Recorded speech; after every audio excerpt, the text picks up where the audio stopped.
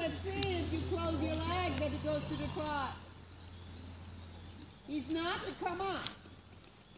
So that is your job. Good. Get your reins a little shorter and your hands in front of you and a little bit more together. But he's still not allowed to come up, okay?